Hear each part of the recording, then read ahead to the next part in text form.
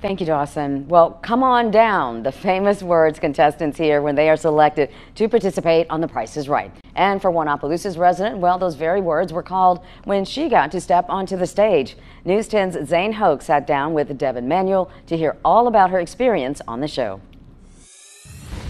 For Devin Manuel, an annual girls trip turned into a dream come true when she became a contestant on The Price is Right, sharing that Opelousas energy and walking away with memories that can only be described as priceless.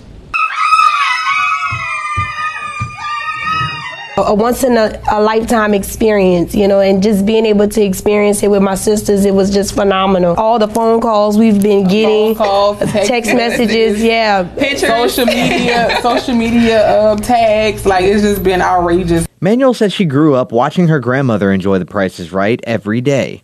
With those memories in mind, Manuel, along with Victoria Lewis and Danielle Castile, decided to go to Los Angeles for their annual girls trip and get tickets to a taping of the show.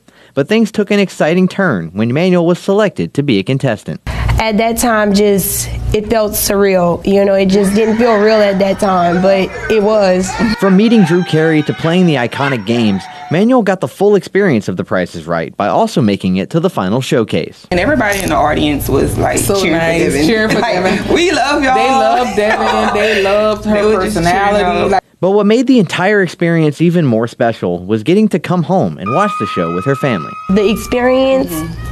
That priceless. That was one of the best trips we've had, and we go on a lot of trips, and we talk about going back there all the time. so, I mean, I can't be a contestant for another ten years, but hey, well, we got two more that can. Yeah, we got two more that can. Exactly, exactly. The only challenging part of the entire experience for Manuel was waiting to talk about it. The episode was originally supposed to air three months ago, but after a long wait, Manuel is excited that it's no longer a secret.